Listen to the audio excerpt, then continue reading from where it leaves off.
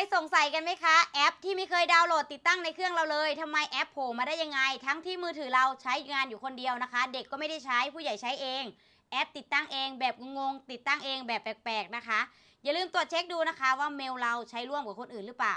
ถ้าเมลใช้ร่วมกันนะคะ เขาสามารถดาวน์โหลดแอป จากเครื่องเขาติดตั้งมายังเครื่องเราได้นะคะ มาดูวิธีเช็คกันค่ะ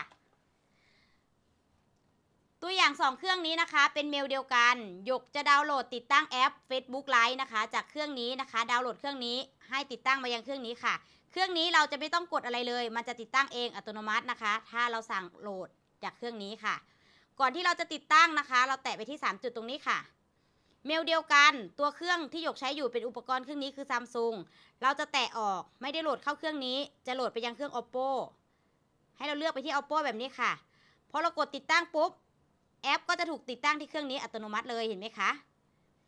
ระวังนะคะ ถ้าใช้เมลร่วมกัน เขาสามารถติดตั้งแอปต่างๆ เข้าเครื่องเราได้หมดเลยเห็นไหมคะ แอปนี้ถูกติดตั้งอัตโนมัติเรียบร้อยแล้วค่ะ ถ้ายังไม่ชัวร์นะคะเดี๋ยวหยกจะลองติดตั้งแอปนี้อีกแอปหนึ่งค่ะ ก่อนที่จะติดตั้งอย่าลืมแตะมุมนี้ค่ะ แตะเข้าไปนะคะ ให้แตะอุปกรณ์มือถือของเราออก แล้วเลือกเลยว่าเราจะติดตั้งเข้าเครื่องไหน ตัวอย่างเราจะติดตั้งเข้า oppo เหมือนเดิม แตะไปที่ oppo ค่ะ แล้วติดตั้งเลย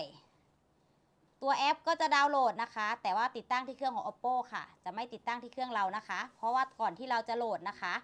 เราเลือกติดตั้งที่เครื่อง oppo ค่ะ ในเมื่อใช้เมลเดียวกัน เราสามารถเลือกได้เลยว่าเราจะติดตั้งแอปนั้นที่เครื่องไหนนะคะ